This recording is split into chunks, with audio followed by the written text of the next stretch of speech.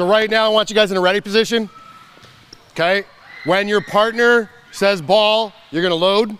So you're gonna go down, load, and then we're gonna start throwing balls up. You've got three choices on these balls, right?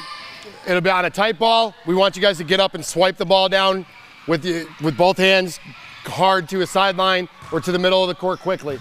On a, on a ball that's a little further back, we want you guys to use a right left step back.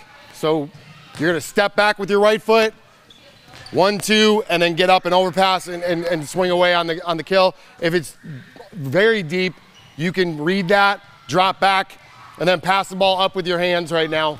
Um, don't go to a target because obviously we can't do that right now because you'd be putting it on other people's heads. Okay? I want you guys to do three overpass balls and then switch with your partner as we're going through the drill.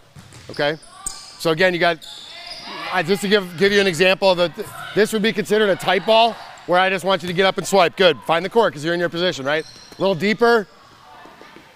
We can get up and try and put a swing on it. And very deep, we're just gonna get up and put the ball up with our hands. Okay, so we're just gonna, huh? Nope, I just want you guys to keep it random because I don't want them to know what's coming. Three balls and then switch. We're just gonna go through this a couple of times, okay? On the ball, remember you're loading. Let's use that right left step back move. Get more heat on it. That's probably a little too deep there, Caitlin.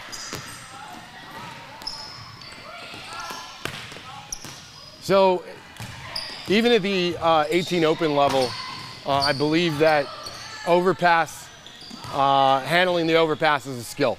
Um, we see a lot of mistakes made on, on how to handle an overpass, whether they decide too late to, whether they want to swipe the ball, whether they want to attack a ball, or whether they should drop back and pass the ball. So we do spend a little bit of time uh, working on this particular skill. Um, there's basically three balls. Uh, we want to see them working the ball side to side on the swipe. Um, we want them swinging away when they when they step back and do, use an overpass. So you'll notice they're trying to use a step back move where they drop back with their right foot, open up, and go right left onto the ball uh, to, to generate some power with that swing. Um, and then, of course, if the ball is too deep, we want them to just step back and make a pass.